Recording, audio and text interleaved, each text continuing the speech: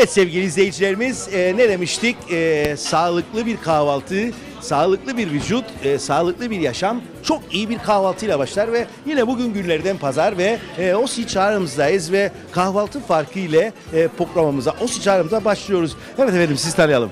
Benim adım Mehmet Cazımoğlu. Mehmet Cazıboğlu evet. E, nasılsınız efendim? Teşekkür ederim. Bir pazar sabahında güne zihinde başlamak için e, çok iyi bir kahvaltı yapmaya geldiniz. Aslında kahvaltı bir kahve gibi yürümez yere derler ya. Burada dostları görmek, e, güzel bir atmosferde bir sabah neşesi yaşamak için ama kahvaltı da bunun bonosu. Çok güzel bir kahvaltı sofrası. E, her tabağı lezzetle dolu. Evet e, yok yok her şey var. Olmayan bir şey söyleyiniz kahvaltıda. E, yok, o- yani her şey var da olmayanı düşünmeye gerek yok. Çünkü olanlar yetiyor. E, kuş sütü var mı? Öyle olsa onu, o da olsa onu mutlaka o da olur. O da olurdu yani Özkan Bey getirirdi. Eğer olmuş olsa o da olurdu. Zaten bunlar hiçbir şey başka bir şeye düşünemezsiniz. Başka bir şey isteyesiniz.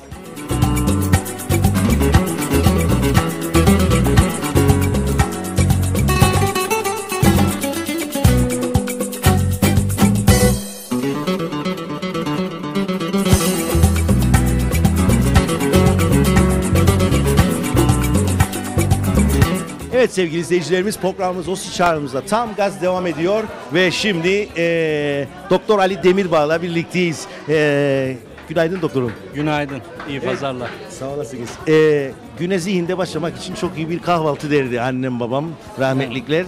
E, doğru mu? Kesinlikle doğru.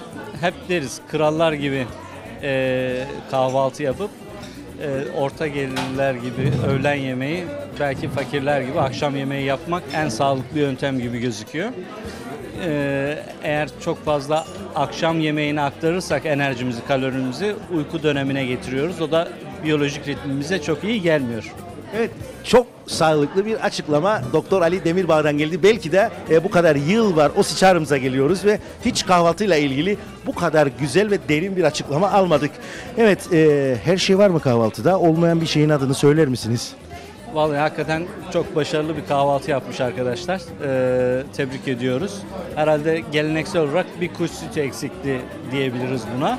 Ama e, her şeyi e, geleneksel usullerle hazırlanmış, e, lezzetli, e, en önemlisi de o. E, birazcık kaçırmamak gerekiyor tabii ki çok lezzetli. Yani İngilizlerin kahvaltısını artık bıraktık.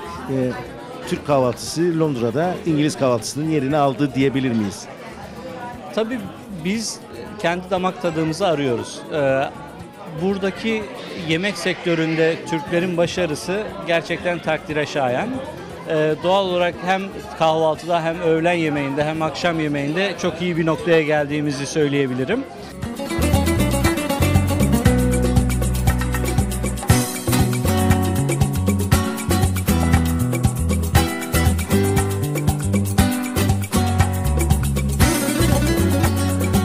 Müzik